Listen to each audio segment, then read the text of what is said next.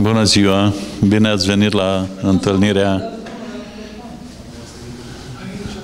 Bine ați venit la întâlnirea cu Eugen Măcinic, uh, pictor uh, afiliat uh, la Uniunea Artiștilor Plastici Alba, Uniunea Artiștilor Plastici din România, da. Că mai e o Uniune la Alba. Dar uh, uh, dumnealui este originar din Sebeș.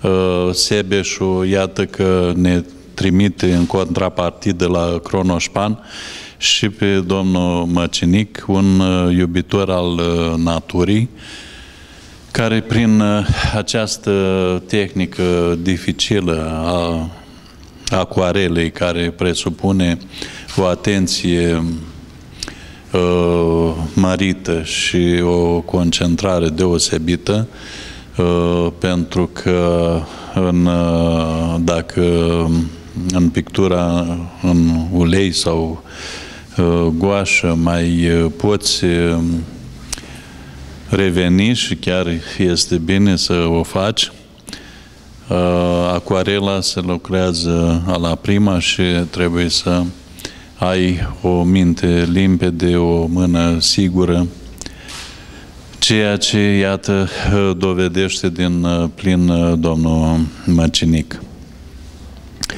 Uh, într-o scurtă biografie o să vă amintesc că domnul Măcinic este absolvent al Facultății de Arte din Oradea, promoția 2009, este, cum am spus, membru a Uniunii Artiștilor Plastici din uh, România și uh, de-a lungul uh, timpului a participat la o sumedenie de expoziții personale, de grup, tabere de creație. Despre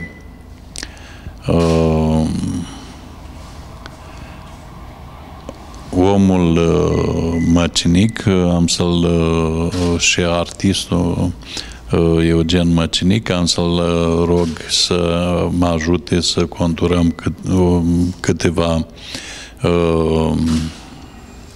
aprecieri și gânduri pe colegul nostru Mircea Romanescu, cel care Uh, este și inițiatorul uh, taberei de acuarelă, Iulia Hălăucescu, care are mai multe ediții desfășurate la Tarcău, uh, localitatea de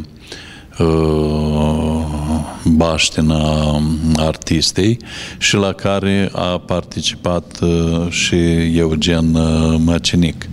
Apoi despre Uh, activitatea uh, dumnealui uh, pe care eu am parcurs-o, dar n-am memorat-o în așa fel încât să nu greșesc prezentându-vă, am să-l rog să spună câteva cuvinte și artistul însuși.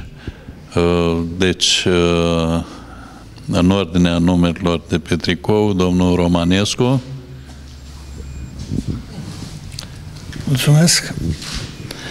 Uh, este într-adevăr o, o mare onoare să-l prezint pe Eugen Măcinic aici în fața dumneavoastră. Uh, este și un prieten, o persoană care ne cunoaștem de, de mulți ani, am făcut și tabere multe împreună și interesante și uh, trebuie să re, uh, recunosc că în ultima vreme ne-am întâlnit mai ales sub steagul acuarelei la Tarcău și uite acum suntem și sub uh, atmosfera orașului Piatra Neamț, care eu în continuare susțin că este un oraș al acoarelei, este un oraș dominat de, de mari acoareliști într-o anumită perioadă. Mă gândesc în special la anii 60, în care aici era o adevărată școală de acoarelă formată de Iulia Hălăucescu și Ștefan Hodnog și alții. Școală pe care noi acum, cu ajutorul domnului Măcinic, încercăm să o revitalizăm prin uh, apariția fenomenului Tarcău. Domnul Măcinic este un exponent al acoarelei foarte, foarte valoros și foarte veridic. Asta spun pentru că el practică o acoarelă de plein air. El își trage energia din ansamblul peisajului, în special a peisajului de la țară, a peisajului plin de foarte multă energie, e un bun acaparator de energie și este un foarte bun, să spunem, trans, artist care transferă în lucrările sale aceste energii. Energia care o, trans, o, o transferă dânsul în acoarelă este cea care ne creează nouă această stare și această atmosferă pe care uh, toate acoarelele lui le pun în uh, valoare. Dacă ne uităm peste tot, uh, chiar de la multitudinea subiectelor abordate, avem un ansamblu de copii aici în spate, un subiect foarte rar și foarte, foarte bine prins. Avem peisaje din aproape toate anotimpurile.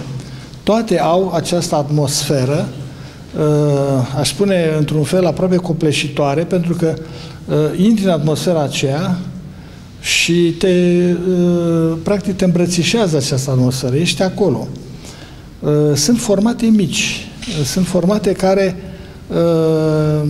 sunt ușor de purtat, sunt ușor de adus, sunt ușor de pus într-o casă oriunde și oriunde fiecare din noi am putea avea Uh, o mică stare a acelui loc în care maestru a lucrat. Foarte frumos îmbie uh, și îmbină uh, prin tehnica pastelului, care este un pic înrudită cu acoarela, dar sigur că este poate că considerată un pic mai facilă decât acoarela, care trebuie să recunoaștem că este o tehnică grea, Uh, pastelul însă uh, este cel care de asemenea ne aduce în uh, atmosferă. Este o notație rapidă de culoare, în special de culoare. Este o notație care ne ajută după aceea să uh, intrăm în această atmosferă cu alte mijloace, poate cu ulei, cu acrilic sau cu altceva. Dar această notație subtilă și uh, esențializată. Am să uh, vă atrag atenția asupra unor portrete realizate în cea de-a doua sală, uh, niște portrete uh, apropiate de o anumită expresie, poate minimalistă, în doar câteva trăsături și pete de culoare, deosebit de, de realizate și care arată și tehnica maestrului măcinic, pentru că a face acoarelă și pastel este o, uh, un lucru care uh, cheamă o tehnică bine, bine stabilită. Se pot face, dar uh, dacă nu ai tehnica respectivă, uh, lucrurile acelea nu, nu țin în fața unui privitor. Și vorbind acum și de privitori, uh, eu consider că, având în vedere uh, această perioadă anilor 60 în care aici la Piatra Neamț s-a format o anumită cultură vizuală pe acoarelă, eu cred că acest oraș are într-adevăr un, uh, o predilecție spre acoarelă, spre acoarelă și, și, bineînțeles, și spre pastel. Pastelul care se face din ce în ce mai puțin. Uh, această cultură, care este uh, în ochii pietrenilor, îi va face pe ei să guste foarte mult această expoziție. Eu cred că foarte multe lucrări din cele pe care le vedem acum uh, merită să fie în uh, casele pietrenilor, pentru că ele sunt acum aici și sper să și rămână aici. Vă doresc mult succes, maestre, și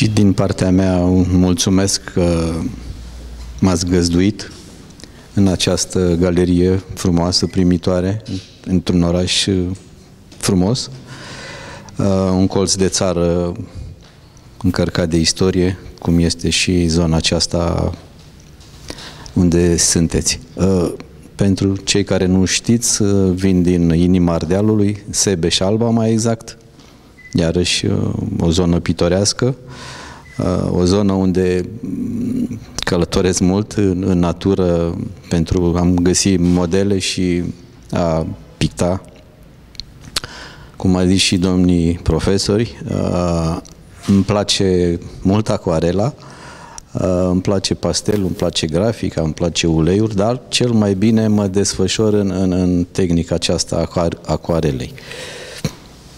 Uh, ce pot să mai spun?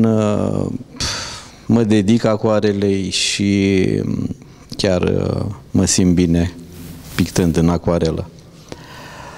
Locurile alese de mine sunt din, din Transilvania, din Maramureș, uh, ca motive de, de cum uh, s-a mai spus, în toate anotimpurile am surprins uh, natura și mm, o fac în continuare. Într-adevăr, Tarcău este o zonă pitorească unde am avut ocazia să fiu în, în tabără. Sper să mai revin și îmi doresc alături de domnul uh, Mircea Romanescu um, și mă bucur că ați venit, vă mulțumesc că ați venit, v-ați dat din timp să veniți pentru câteva momente și ce pot să vă mai spun, uh, să fim optimiști, să avem uh, o primăvară frumoasă și colorată. Mulțumesc!